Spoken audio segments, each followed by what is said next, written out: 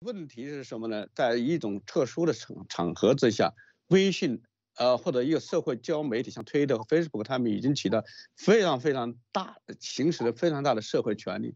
当这种社会权利和国呃或者掌权力的这些建制派，包括国家原有的这样一种法律权利吻合在一起的时候，它就是这个国家权力的延伸。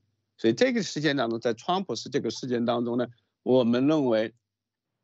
这个已经是达到了社会权利那个部分了。虽然我们跟微信是不一样的，但我们问题说，如果你把它当川普当成个例外，这个例外可以接受。这个接受的理由不是因为法理上可以接受，而是从政治立场上接受。